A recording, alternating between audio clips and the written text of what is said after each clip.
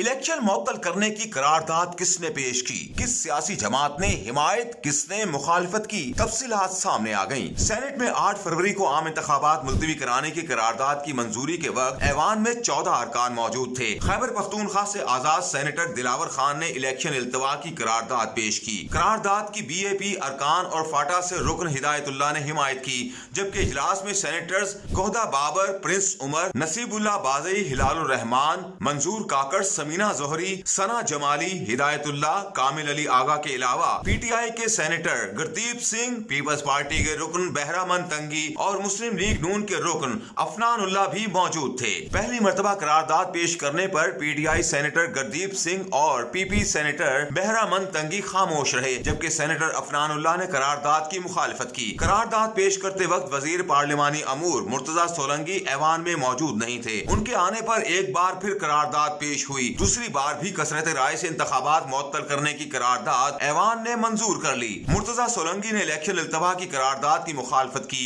दूसरी बार करारदाद पेश होने आरोप पी टी आई के सैनेटर गुरदीप सिंह ने भी करारदाद की मुखालफत की